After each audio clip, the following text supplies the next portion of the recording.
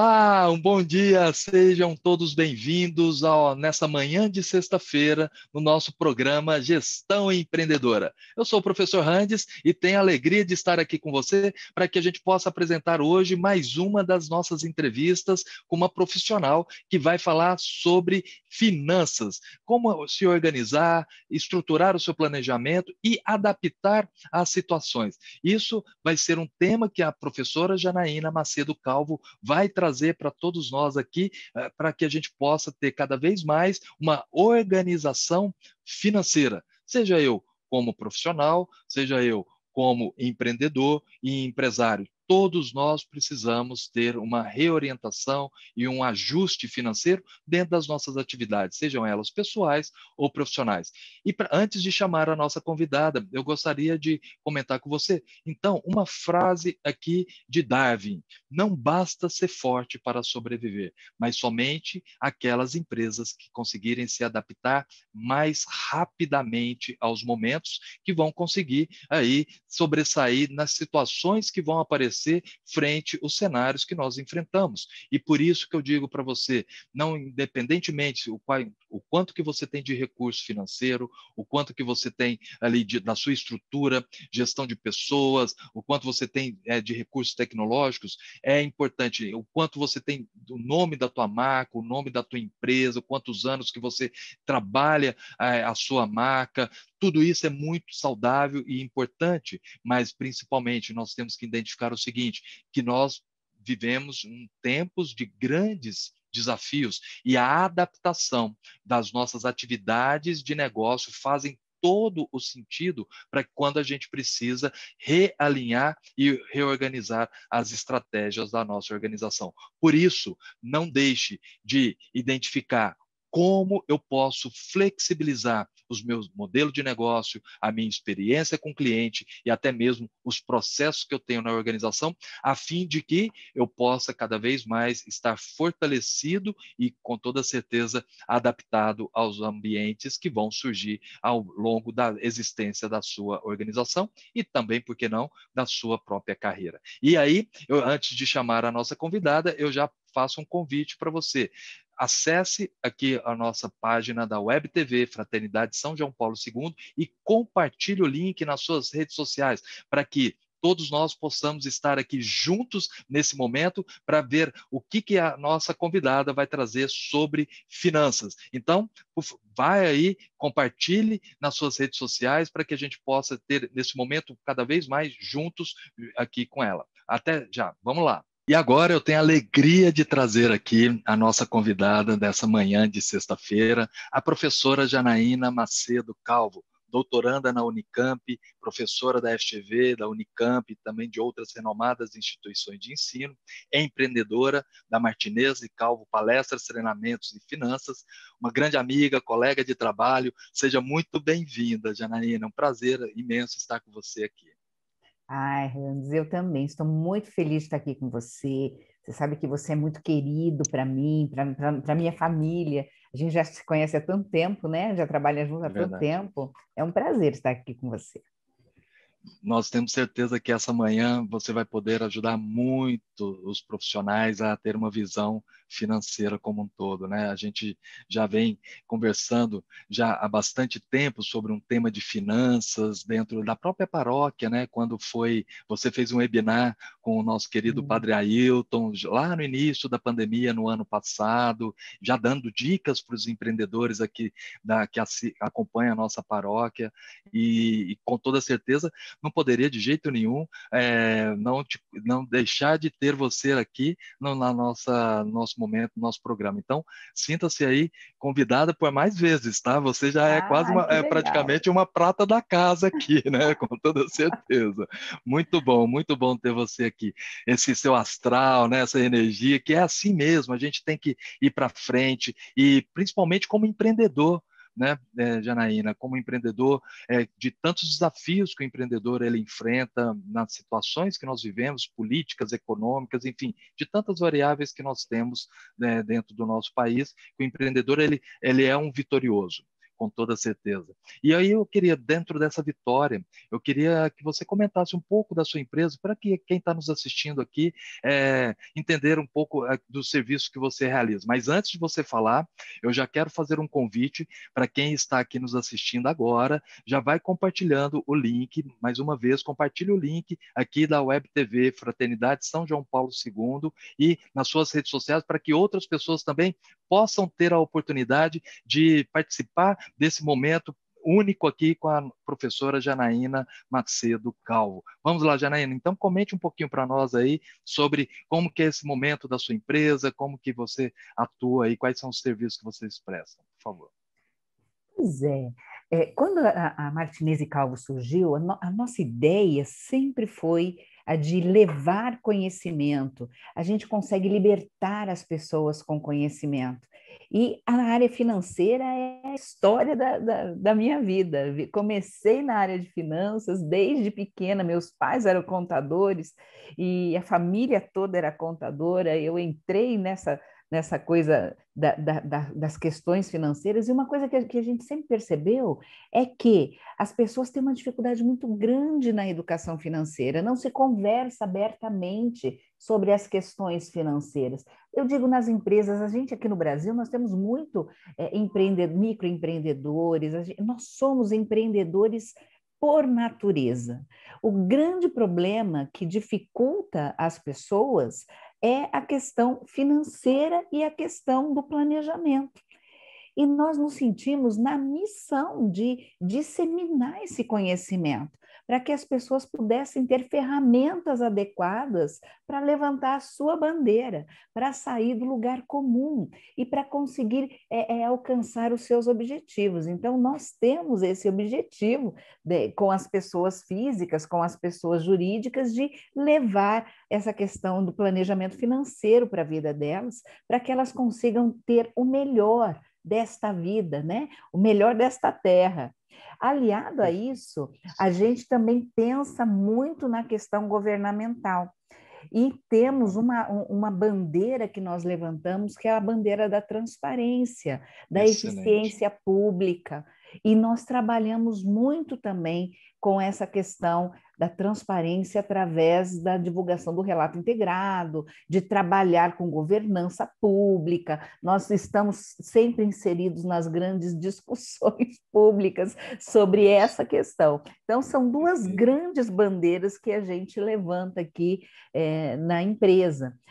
Agora, para você ter uma noção, a semana que vem nós estamos falando do relato integrado para entidades públicas por conta da prestação de contas. Quantas vezes você entra num site da prefeitura ou da, da Câmara ou mesmo da União, você não sabe exatamente nada. Aqueles números não dizem nada para a gente. Então, eu estou é, trabalhando para que realmente as divulgações sejam feitas de maneira clara e transparente para o cidadão. Então, são essas duas é, é, alas aí de trabalho que a Martinez e Calvo tem. Excelente. Você já que estão nos acompanhando aqui já perceberam como que vai ser essa entrevista aqui, hein? Olha que robusta aí a responsabilidade que a Janaína é, proporciona, né, para as pessoas que é, estão aí em contato com dentro das empresas que ela atua, até na parte pública também. Interessante que ela acaba de comentar aqui sobre o conhecimento, né, e ela proporciona esse conhecimento que transforma na área das finanças, porque a gente percebe mesmo, né, Janaína, quando a gente está dentro do, de uma questão questão de, por exemplo, de um, é, de um empregado né, que vai discutir o salário da empresa, ele tem esse receio, é algo cultural mesmo que você apontou. Quando fala de finanças, a gente não, não se preocupa, né, como outros países nórdicos, por exemplo, que já tem isso muito mais estruturado lá da primeira né, infância, da, já, da começa, infância. já começa com a cultura familiar. Né? E quando a gente fala de salário, a gente muitas vezes escuta o, o empregado falando, não, você pode me pagar o que você achar que eu mereço. Quer dizer, né, coloca coloca na mão do outro, do outro. aquilo que é de, né, de dever dele orientar. Né? Então, a gente tem vários vilões aí financeiros, pelo que eu estou percebendo, que Sim. você pode nos trazer. Né? Quais, quem são esses vilões aí? Né? É, ou quais é. são os vilões? financeiros? O primeiro somos nós mesmos, né? É, nós nos sabotamos o tempo todo, nós nos colocamos numa posição muito distantes. Primeiro que nós não sabemos o que a gente quer. Normalmente, a pessoa não tem claro aquilo que ela quer, para onde ela, é, para onde ela quer chegar, o que ela quer fazer, quais são os planos dela para os próximos 40 anos. Eu falo isso, 40, 50 anos, porque a única certeza que nós temos em 40, 50 anos é que estaremos 40, 50 anos mais velhos. Ninguém tem, tem certeza de que estará morto. As pessoas falam, não, não sei se eu vou estar vivo. Que, que papo estranho esse? é isso então, esse é o primeiro. Primeiro somos nós. O segundo, Sim. que eu acho assim, contundente, é que é, nós vivemos num mundo onde as pessoas compram e vendem o tempo todo. Sempre que existir alguém predisposto a comprar determinada coisa, é, o preço será inferido. Então, a questão da inflação, e não é inflação de demanda ou inflação de oferta, é inflação inercial, é a inflação que existe pelo fato do mundo existir. Esse é um grande vilão. Se você perceber, né, em 1912, 1913, até 1918, você comprava um carro zero por 600 dólares. Quando é que você vai comprar agora um carro zero com 600 dólares? E detalhe, ele começou com 600 em 1912 e, cai, em, em, é, e caiu para 330 para 1918, por exemplo. Esses dados que eu estou falando foi dados que eu comecei a estudar quando eu comecei a estudar o Fordismo, porque ele Sim. deu essa, essa, essa planilha você imagina é. isso? É. Então, olha como, como é, é, discrepante. Aliado a isso, então, primeiro, a nossa estrutura familiar, as nossas crenças com relação ao dinheiro é muito ruim. É Segundo, tem essa questão da inflação. Terceiro, nós fomos criados para comprar no parcelado. Nós somos o único país assim no mundo. Nem em Angola compra parcelado nesse pinga-pinga. A gente adora fazer uma prestação. Nós imaginamos, não queremos saber o preço final do bem. A gente quer saber se a parcela cabe no nosso orçamento. Quer dizer, no nem... bolso, né? No bolso, né? No bolso daquele Não é mês, né? orçamento. É, no bolso daquele mês, né? Porque o mês que vem é outro mundo, é outro, outro momento. Mundo. Então, isso é o ó. O é. endividamento é. é muito alto aqui, as pessoas vão rolando, vão rolando, vão rolando, e é uma coisa muito complicada, né? Então, ó, falei de três, e vou falar é, agora. A gente sabe que a, a, a, lista não deve ser pequena, não. E o quarto, queridos, estamos no Brasil. O Brasil tributa a vaca pelo fato dela nascer, quando ela está viva e quando ela morre. Se ela der leite, tributa também. É, dobrado. É, dobrado. E dobra, não, dobra. não tivemos correção da tabela imposto de renda. Então, você imagina o tanto de tributo que a gente paga aqui. Não dá para. Não dá para. Você tem que ter conhecimento tributário. tem que conhecer. E, e as pessoas não têm paciência. Não têm paciência de ler, porque é, nós não temos a cultura da leitura. Se você pegar a Argentina, por mais que a gente tenha essa rixa com os argentinos, no papelzinho de comprar, de pôr pão, tem um monte de poemas. Não sei se você, você já comprou hum. pão lá fora, mas é um monte de poema, de um monte de literatura. Eles leem, você entra no, no, num táxi lá, a pessoa fala de política, de, mas não fala de política no sentido de partido de futebol, entendeu? quero, quero votar, quero é, é, o time tal. Não, ele fala de maneira estruturada, eles têm conhecimento. Aqui nós temos uma aversão natural à leitura. Então, olha, olha, quantas coisas aí que, que a gente está falando. Então, é, o que precisa? Sim, pode falar. Desculpa. Imagina, Não, pode falar. Falando da questão de, de livros, né, pesquisas é, relataram que um francês lê 12 livros ao ano, em média e o brasileiro lê um livro ao ano, né? Então, é a gente tem uma É, aí se pegar, é, não estou falando de livro técnico, não. Estou falando de livro de literatura mesmo ampla, né, para abrir esse conhecimento também, falando de vários outros temas, né? Olha que interessante, né? É, e, e tem uma outra coisa. Lá fora, se você fez formação em engenharia, você também fará formação em ciências sociais, porque a ideia é que você tenha esses dois lados trabalhando não um lado só, não uma versão só. Aqui a gente pega os profissionais muito, é, é, se é daquela área, é só daquela área. Não, não consegue olhar para outra área, né? Não Exato. faz psicologia, não começa a perceber psicologia. Eu sou de finanças, você sabe a minha formação, mas eu, inegável, eu preciso entender do ser humano para poder entender como é que ele vai aprender. Então, eu tenho que ter esse, esse trabalho. Então, a gente tem muitas limitações aqui, acadêmicas, é, culturais, sociais, tributárias. Sim, sim, é verdade. E, e, aí a gente acaba refletindo isso dentro do nosso dia a dia, seja ele pessoal, né, como funcionário de uma empresa, como e também isso extrapola quando esse profissional ele deseja empreender ou ele já é, entrou dentro de uma empresa como segunda geração que seja, já assumiu esse, essa gestão né, de, do fundador da, é, ali, do, é, quem foi o fundador da empresa, e ele já entra também com essa falta né, de planejamento. Então, antes de você é, aí continuar, eu já queria pedir para as pessoas que estão nos acompanhando agora, já começar a colocar ali é, que perguntas você gostaria de falar para a Janaína, é, o que, que você gostaria de trazer aqui de reflexão. A nossa produção vai fazer aí uma, é, um envio dessas perguntas para que ela possa depois retomar também esse tema com a gente. Então, vai, vai colocando aí as suas perguntas para que a gente possa também entender quais são as suas dúvidas aí nesse tema tão aqui eh, interessante que ela está nos trazendo. E por falar então em planejamento, Janaína, como que é, deve é, começar ali a se organizar essa, esse profissional ou esse empreendedor que seja? Qual que seria aí o caminho para como tudo está num caos, né? Não vamos jogar tudo para cima, mas como que a gente pode se estruturar? O que, que seria um caminho aí que mais favorável que você poderia nos deixar aqui? por pior que seja, a melhor forma de começar é se olhando, é se olhar no espelho, é anotar, escrever quanto que, que você tem, o que você está gastando e quanto sobra.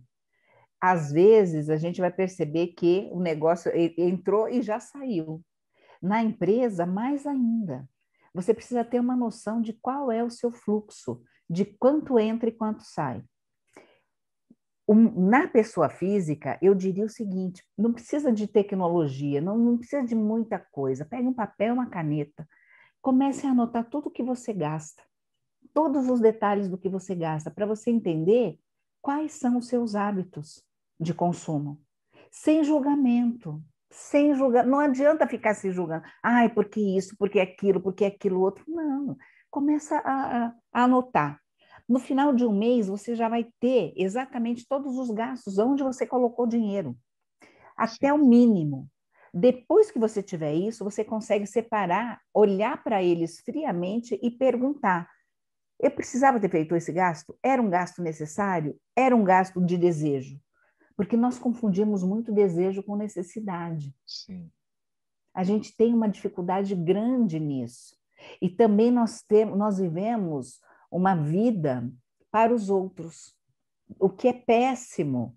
Você pega a, a adolescente, eu dou, eu dou, muito treinamento para empresas, para jovens aprendizes, Sim. eles vivem nas redes sociais, e nas redes sociais todo mundo é rico, todo mundo é bonito, todo, todo mundo, mundo tá é feliz. Todo é... mundo é feliz. Ninguém vai fazer é? uma selfie chorando, né, ali? Não, com aquele pratão, né, é. com meio ovo. É, é verdade, é verdade. Ninguém vai é. fazer. Então, é, é, essa coisa de viver dando satisfação para o outro é algo também que a gente precisa refletir. Será que, que eu preciso mesmo? Será que aquilo precisa acontecer daquela forma? Eu vejo esses adolescentes, eles postam todo o momento da vida deles.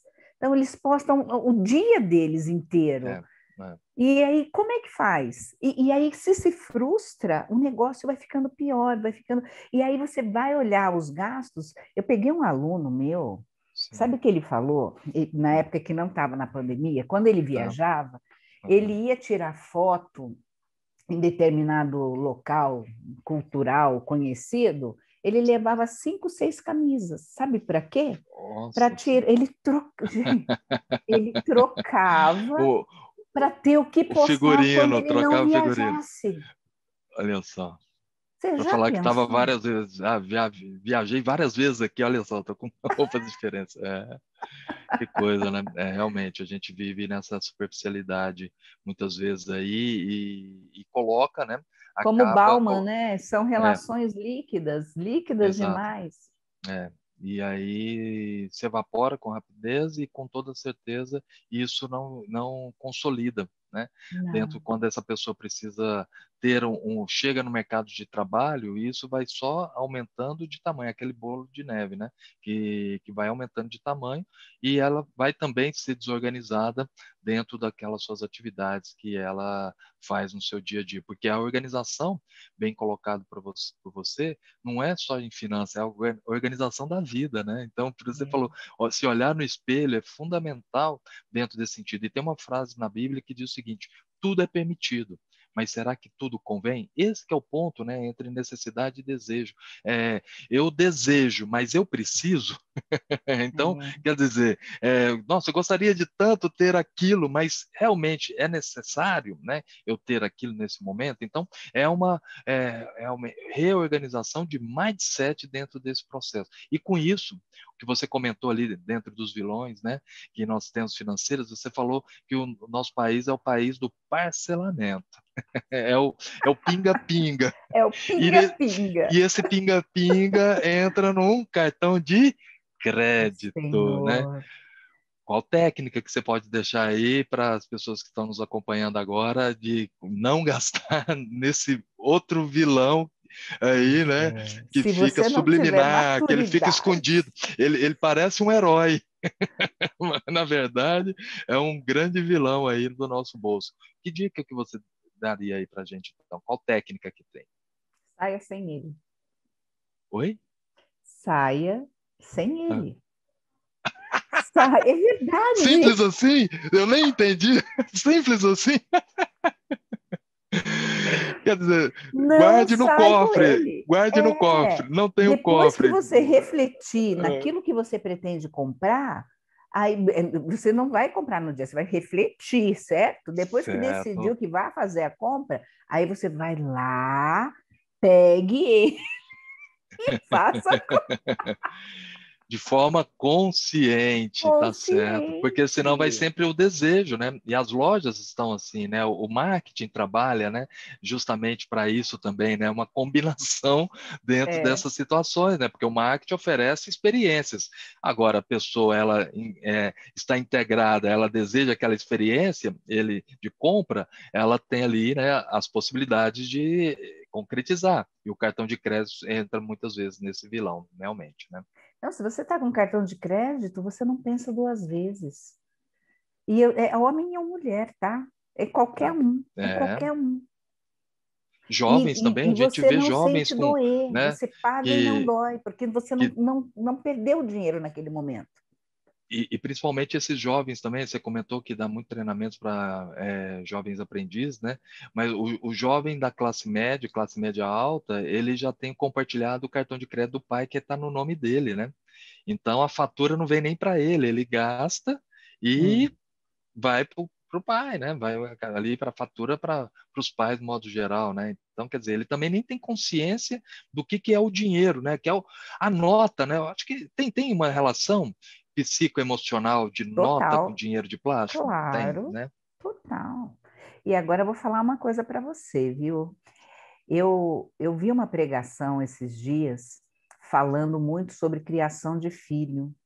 E eu fiquei muito tocada com aquilo que foi dito, porque nós criamos mal, muito mal os nossos filhos, dando esse cartão de crédito na mão deles.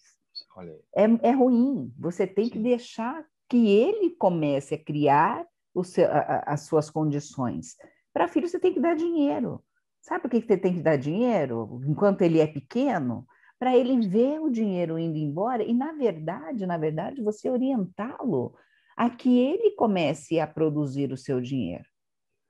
A produzir, tem, tem veja, não estou falando para você falar para ele fazer coisas que são corriqueiras da casa e você remunerar. Isso ele tem que fazer. Mas eh, alguma coisa, você tem que arrumar formas de, de, de atribuir responsabilidade para essa, essa criança. Porque senão vai chegar esses adolescentes de 20 anos que a gente está vendo agora, 20, 21, completamente sem noção. Completa, completamente sem noção.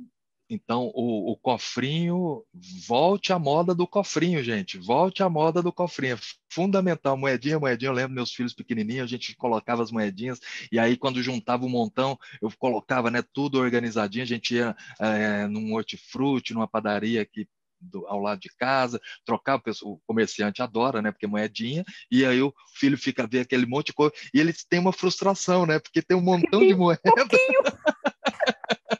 Pô, tinha um monte de coisa, agora você me dá três notinhas? O que, que é isso, né? Você tinha que pegar uma notinha mais, mais quebrada para também ele dar um volume, né? Para falar, não, tem bastante e tal. Então é, já vai né, desde pequeno mesmo, acostumando é, esse, essa pessoa, esse indivíduo, para chegar na, na, vida já jovem, adulta, de uma forma mais organizada também. Bom, gente, nós é, estamos aqui, né, falando com a professora Janaína Macedo Calvo, ela está trazendo várias dicas aqui para nós, tenho certeza aqui que você já está com toda, é, colocando colocando várias perguntas também para que ela possa depois num outro momento nos ajudar aqui nessas respostas. A nossa produção vai aqui é, organizar todas essas questões. Eu quero aproveitar também, é, antes de já ir finalizando aqui a entrevista com a professora Janaína, é, comentar com você que nós temos aí a, a história da Fraternidade São João Paulo II. Então, não deixe de adquirir produtos né, da loja, é, seja para você, seja para você presentear alguém com coisas do bem coisas que engrandecem a alma. Né? Se você está em qualquer é, parte do país, você pode pedir pela via é, loja virtual né, da Store FSJPI, você pode adquirir os produtos que recebe aí na sua casa. Se você estiver em São Paulo, próximo da região da Vila Mascote, você tem a loja física em frente à paróquia Nossa Senhora do Perpétuo Socorro e Santa Rosalia. Então, é, continuando aqui, com a nossa nosso bate-papo aqui descontraído sobre finanças. Vamos eh, fazer aqui mais uma mais uma questão para que a professora Janaína é, deixe aqui para nós de, de, indicação. Então, falando agora o empreendedor, né, é, Janaína, como que, né, quais são esses três atores que financiam uma empresa sem cobrar juros? Vamos ajudar aí esse empreendedor nessa, nesse momento. Como que, que você poderia nos ajudar aqui? Então, na, é, é que a gente não tem essa noção, mas os três grandes que financiam, dois a gente até tem uma noção, mas o primeiro é o, é o seu funcionário. Ele vai trabalhar para você por 30 dias e você vai pagá-lo no mês seguinte. Você não pode atrasar, porque ele vai falar de você, mas ele vai trabalhar para você antes de receber. O segundo é o governo. Por quê? Porque é importante você ficar atento à questão tributária. Agora, por exemplo, nessa questão da, da pandemia, muitas pessoas não conseguiram sacar os recursos emergenciais porque não declaram, porque não, não entregam, não, não operam, não, não, não tem nada. Então, como é que faz? E é importante você participar com isso também, porque, em tese, a, o governo vai utilizar esses recursos para políticas públicas para o nosso bem-estar. Então, ele também financia você, porque você vai pagar depois do fato ocorrido. Né? Você paga no mês seguinte ao fato ocorrido. E o principal, que é o que eu oriento você a, a trabalhar bem, é, são os seus fornecedores. Veja, supermercado, ele, se você quiser fazer aí, deixar seu produto aí num Walmart, num Carrefour, não é? Num grupo Pão de Açúcar, além de você fazer jejum e oração para deixar o produto lá, não é não? para conseguir vender para esses tubarões aí, né? Para esses tubarões, você vai deixar o seu produto lá em consignação.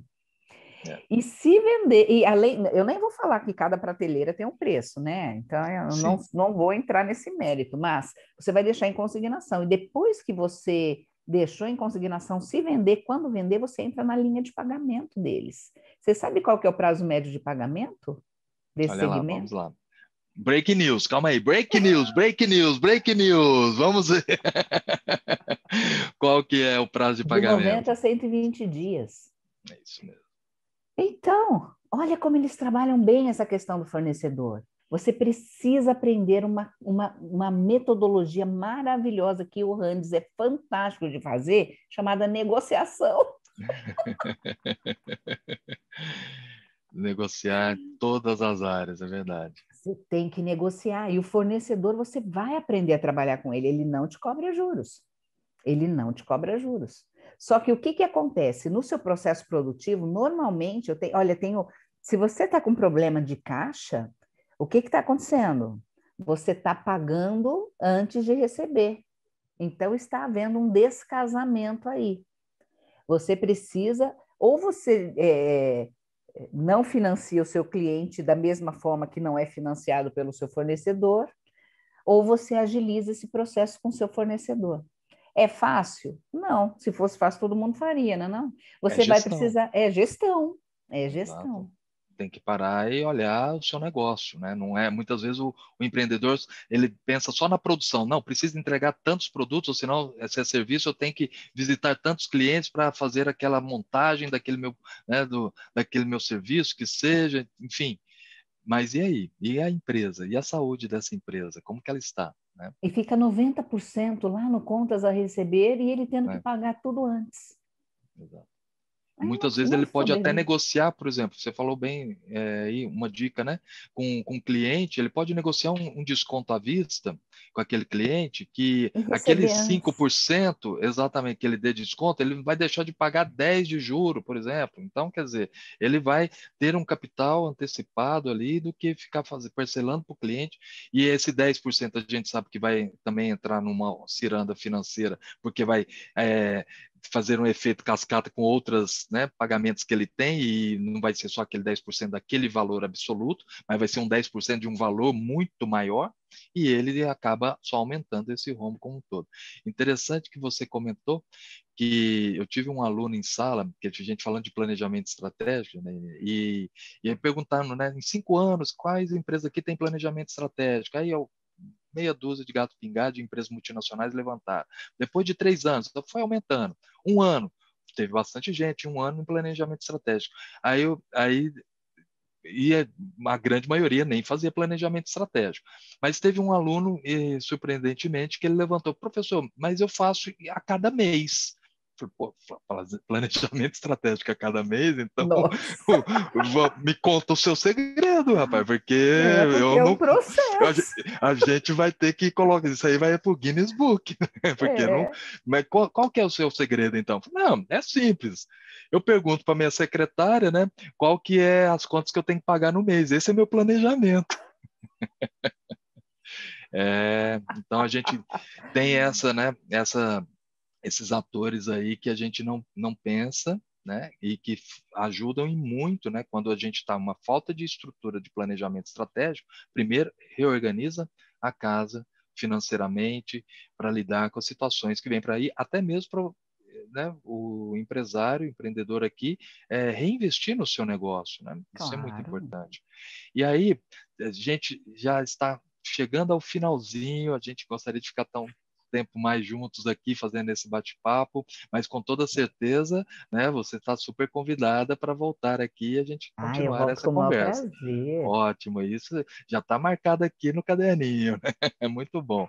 Mas então, para deixar aqui, né, aquele, sabe, aquele mata-mata, né? Vamos fazer um mata-mata. Qual que seria a dica que você poderia deixar para um profissional hoje que está aqui nos acompanhando, o empresário, o empreendedor? O que, que seria uma, uma dica para fechar aqui essa, esse nosso momento? O que, que você poderia Nesse momento ajudar? que a gente está vivendo, a melhor coisa que tem é trabalhar com gestão orçamentária.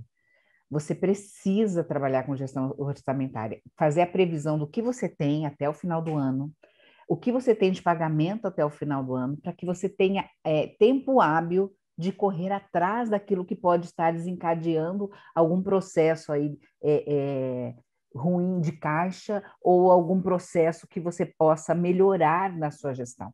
Então, quais são as, as suas entradas? O que você vai fazer?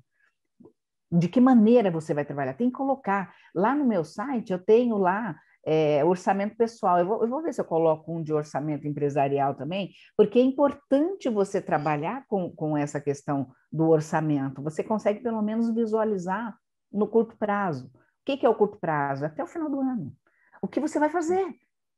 Porque você não é pego de surpresa, você não é pego de qualquer jeito. Então, é importante que você trabalhe muito, muito, muito com seu orçamento. Tem empresas aí que, na, na pandemia, simplesmente não tinham como, não, não pensaram o que fazer e perderam, então fecharam.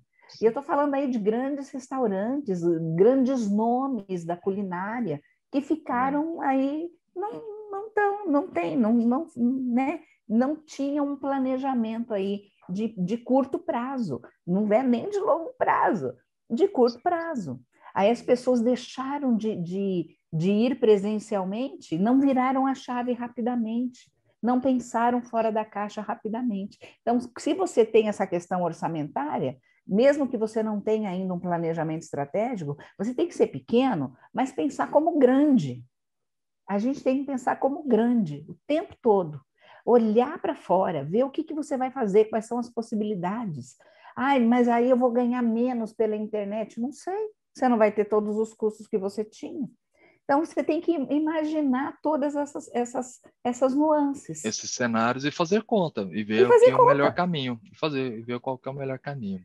É Excelente, isso. muito bom, muito bom. Estamos chegando então ao final. Queria agradecer mais uma vez a professora amiga Janaína Macedo Calvo, né?